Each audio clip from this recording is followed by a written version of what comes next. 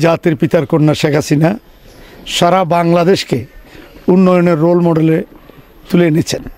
আজকে সারা বিশ্বে বাংলাদেশের প্রধানমন্ত্রীর প্রশংসা করেন। তার ধারাবাহিকতায় আজকে আপনারা জানেন যে বঙ্গবন্ধুর টানেল হচ্ছে চট্টগ্রামে। অনেক ফ্লাইওভার হয়েছে। বিভিন্ন উন্নয়নমূলক কাজ হচ্ছে।